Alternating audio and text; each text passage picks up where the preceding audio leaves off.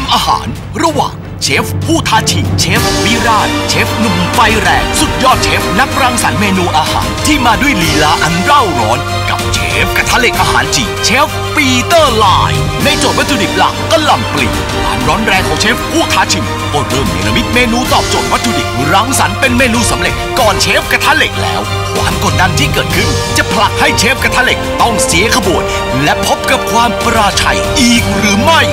งานนี้ต้องมาลุ้นกันล่ะครับเอาละครับเดี๋ยวต้องดูครับนี่ครับตอนนี้ทางเชฟกระทะเหล็กของผมนะครับกำลังเอาเหมือนเป็นเม็ดอะไรฮะ เห็ดเหรออะไร ไม่อะใช่ไรคุณปีเตอร์จะอบกรวดให้เรากินเหรอครับ ไม่ใช่ครับเหมือนหินครัหิบนครับเอาหินหินหินไปเข้าในเตาอบนะครับ เข้าให้ใจเรากินหินเหรอ ไม่ใช่ ผมเชื่อว่าหินเนี่ยจะต้องเอามาจะเป็นตัวที่เอามาสำหรับวางภาชนะ กว่าจะมาถึงที่เราจะกินได้เนี่ยมันต้องร้อนอยู่ตลอดเวลาครับเนี่ยนี่มาแล้วเห็นไหมเป็นหน้าเป็นตาแล้วครับเห็นไหมแซลมอนเริ่มมานะครับผมยังไม่อบยังไม่ได้ทำอะไรมันกินดิบได้ไม่มีครับเดี๋ยวลงไปทอดนะครับ 4 นาทีก็เสร็จแล้วสำหรับแซลมอนนะครับอ้าวเหลือเวลาอีก 30 นาโอ้ยทีสามสิบนาทีเหลือแหล่เหลือแหล่เชฟกระทะเหล็กของผมนะครับครับมาแล้วครับเห็นไหมมาแล้วครับนี่เห็นไหมแซลมอนผมลงกระทะเรียบร้อยแล้ว คุณชะกิดครับครับ ที่เห็นอยู่นั้นนะครับเชฟกระทะเหล็กของเราตั้งใจทำเมนูปลาแซลมอนย่างซอสขิงละครับเอาย่างซอสขิงนะครับ เดี๋ยวตัดไปทางของย่างผมทอดก่อนเลยครับทอดอะไรไม่รู้ครับรู้สึกจะเป็นหนังปหนัลางปลาครับหกำลังทอดหนังปลาครับ คุณชะกิดครับครับ เชฟผู้ท้าชิงของเรากำลังทำเมนูโคสลอชีนัว ซึ่งในนั้นนะครับจะมีหนังปลาแซลมอนทอดกรอบทานคู่กันด้วยละครับ ว้าว โคสลอชีนัวเหรอ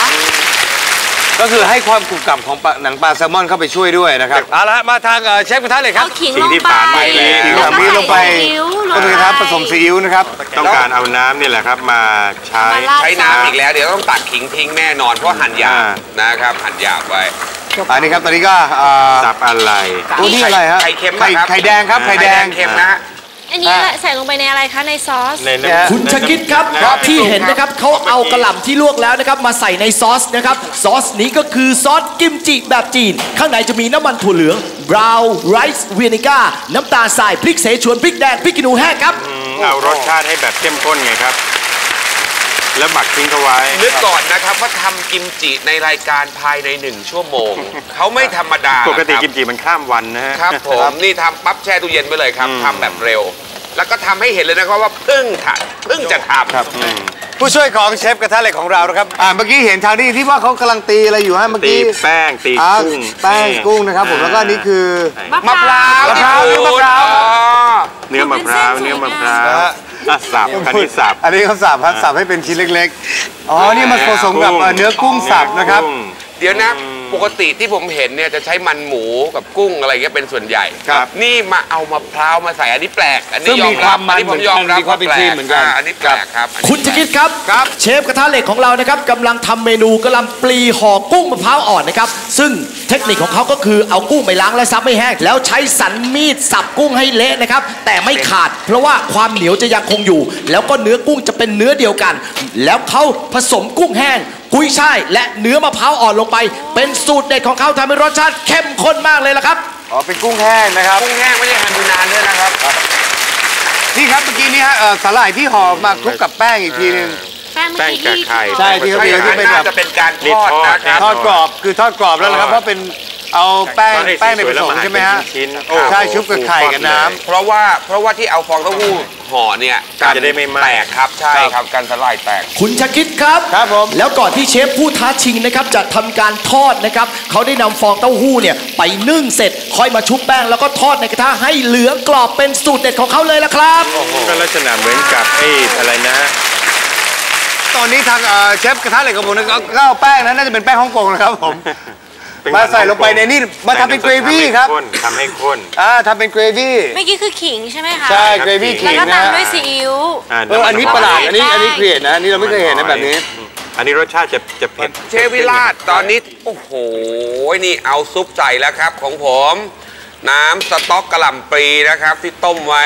เชฟวิลล่าใช้วิธีช่างตวงวัดแบบใหม่ครับใช้หยิบใช้หยิบ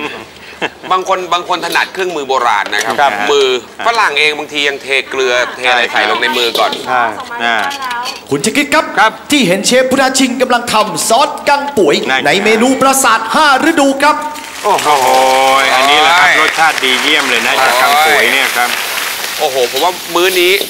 อร่อยแน่ครับแน่นอนครับ อร่อยแน่นอนทั้งคู่แหละครับ ผมว่าจริง ๆ แล้ว ดูใช่น่าทานทั้งคู่แต่ว่าใครจะเหนือกว่ากันนี่ต้องมาลุ้นกันแล้วครับ ครับผมทางเชฟพุทธาชินครับ อร่อยเป็นอย่าง หนังนี้ปลากรอบครับหนังปลาเขามีทอดการกรอบนี่ตัดไม่ได้เอาด้วยมาจากถุงนะครับทอดเองใหม่หมดเลยใช่แล้วครับ เมื่อกี้ที่เห็นทอดอยู่ในกระทะนะคครัรับบเป็นชิ้นเล็กๆนั่นนะครับนี่เอาว่ามันลงมาใส่ในจานนะครับเขาตัดแต่งครับเขาตัดแต่งก็โถให้กินหนังปลาคู่กับซุปผักเนี่ยเหรอครับ ไม่ใช่ครับ คุณชกิดครับ ครับ ผมไปสอบถามเชฟผู้ท้าชิงมานะครับ เขาจะทำเมนูโคสลอชินัวให้ออกมามีสองรสชาติในจานเดียว คือรสเย็นจากสลัด และรสเค็มมันจากหนังปลาแซลมอนทอดกรอบแล้วครับเชฟกระทะเหล็กของเรานะครับนี่ฮะอ๋อปลาแซลมอนในที่นี่ขึ้นเข้าไปอบเข้าไปอบอีกทีแล้วเขาไปอบอีกทีแล้วครับแล้วก็มีเอากลิ่นของกระหล่ำเข้าไปด้วยนะครับ ครับ มีพวกเอ่อใบกระหล่ำที่สับๆๆๆไว้นะใส่เข้าไป กิมจิผมดูเหลือก่อนเวลาครับอีก 15น่านาทานที มาก ครับ นี่ครับทางเชฟพุทธาชินที่พี่โน่บอกเอากิมจิออกมาแล้วใช้กิมจิแบบจีนใช่ไหมครับอ่าอืมโอ้แต่นี่ดูถ้าทางรสชาตินี่น่าจะ เข้มข้นนะเข้มข้นนะครับาอันนี้ มีเผ็ดมีเปรี้ยวอ้าวเดี๋ยวก่อนอีกทีหนึ่ง โอ้ยระวังจะหายกรอบนะครับ นั่นน่ะไม่สิครับ ไม่ได้เน้นความกรอบมากแล้วล่ะครับ ถ้าอย่างนั้นทำทำนะครับทำผมซ้อนว่าขนาดเขาไม่ได้นี้ นิดเรื่องความกรอบมากแล้วครับ แต่หั่นแล้วมันจะอยู่ยังไง แหวะเลย เนี่ยหั่นแล้วอ๋มัอนี่ไงครับจะอยู่ยังดูสีดิครับ ดูไม่สี มัดไม่อะไรเลย ดูสีก่อนครับ สามชั้น คือข้างนอกเอ่อสีเดี๋ยวก่อนนะ ขาวข้างในสีม่วงโอ้โห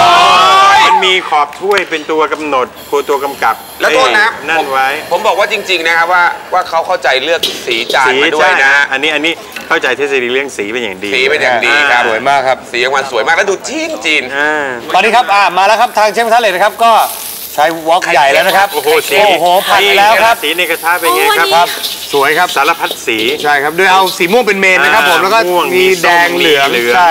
เพราะว่าอย่างเมื่อกี้นี้ที่พี่บอกว่าตัวกระหล่ำเนี่ยมันจะหวานใช่ไหมคะครับพอใส่ไข่เค็มแดงเข้าไปมันก็มันจะจะมันจะมันและเค็มนิดเพราะรสนิดชาติมันจะที่มันขับอยู่รด้สวยกักันนใช่ คุณชกิดครับมันเป็นการครับผสมผสานที่เห็นเชฟกระทะเหล็กของเรานะครับกำลังเอากะหล่ำปลีสีขาว สีม่วงพริกแดงเหลืองเขียวและหอมแขกนะครับผัดสีสันน่ารับประทานกลิ่นหอมหวนมาก เขากำลังทำเมนูบะหมี่กะหล่ำปลีผัดซอส XO มากครับโอ้แล้วเส้นดูน่ากินมากเลยครับผมเส้นบะหมี่ดึงนี่ไปดึงมา ดูสิครับแล้วอย่างนี้มันต้องหอมควันไฟนึกออกไหมนี่คครัรับบดูกันถ้าคุณจะดูฝีมือก็ต้องดูที่ผัดหมี่เนี่ยใช่ไหมฮะใช่แต่ว่าแต่ว่าใส่แค่หมี่มันผมว่ามันดูธรรมดาไปนะครับ คุณชกิดครับ เชฟกระทะเหล็กของเรานะครับกำลังเอาซอส XO ผัดกับไข่แดงทำให้ซอสเข้มข้นขึ้นแล้วครับ นี่แหละครับถ้าอร่อยก็ตรงนี้แหละใส่ครับ ไปแล้วใส่ไปแล้วพี่โน่บอกแล้วครับผมอย่าประมาทนะครับอืมต้นตำรับซอส XO นี่นะครับ อยู่ที่ร้านที่ฮ่องกงที่เชฟปีเตอร์ไลน์เป็นฝึกงานแต่เด็กแล้วเป็นร้านที่พ่อของเขาเนี่ย จริงเหรอ ก็คือเป็นเชฟอยู่ด้วยใช่ครับ เป็นร้านที่คิดค้นต้นตำรับซอสเอ็กโซครับ ใส่ใส่อีกเออเราชอบมาก ใส่กับอะไรก็อร่อยอเวร่ลาอยไปหมดเวลาทานติ่มซำบางคนก็จะจิ้มกับน้ำจิ้ม แต่ส่วนมากแล้วจะทานผมขอจะทานกับซอส XO หรือเพไม่ราะว่าชิลลี่ออยล์มันมาจะผอสมร่อยหน่อยใช่กลิ่นหอมแล้วสีสวยอีกนะครับ และปริมาณที่กะเข้าไปนี่ก็พอดีนะครับ ดูจากเครื่องกับอ่าเส้นบะหมี่แล้วนะฮะจะเหลือถึงเราหรือเปล่าไม่ทราบนะครับโอ้สวยงามมากนะครับนี่กลิ่นหอมแล้วผมรู้ว่ามันจะต้องอร่อยครับ แต่สีเนี่ยครับเรื่องสีสันเนี่ยมาแล้วมาเห็นไหมแล้วครับเอาใบใบกระหล่ำมาวางด้วยส ปีเตอร์ไลน์ก็อาศัยความสุขุมอันเยือกเย็นรังสรรค์เป็นเมนูสำเร็จ ตีตื้นไล่เชฟผู้ท้าชิงขึ้นมาแล้ว แต่จะสามารถสู้รบกับความร้อนแรงของเชฟผู้ท้าชิงได้หรือไม่ และศึกการประชันรสชาติที่ดำเนินไปอย่างเข้มข้นครั้งนี้ เชฟหนุ่มผู้มากด้วยไฟกับเชฟเก๋าที่มากด้วยประสบการณ์อัตรรสของใครจะได้รับชัยชนะติดตามช่วงหน้าครับ